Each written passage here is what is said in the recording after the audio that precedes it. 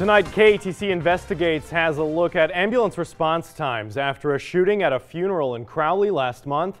The victim had to be taken to the hospital in a police unit because the closest ambulance was 25 minutes away. Josh Meny reports on why it took so long and what changes could be in store. It's tonight's top story. They were like, Where's the ambulance? Where's the ambulance?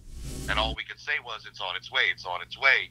And we just made the decision that we can't wait. This person can't wait 25 minutes to get to a, an emergency room. When the shooting happened last month, all three Acadian ambulance units in the parish were all out on calls two in Rayne, one in Midland. The funeral director even considered using the hearse to transport the victim. But because of the fact that we were appointed for a funeral with the hearse, we could not leave. According to the parish's ambulance permit, Acadian has to maintain an average 8 minute response time on at least 80% of the calls. Acadian Ambulance is reviewing the situation. Our plan and our fix for the, the response is to, is to provide quick backup to the areas that we serve.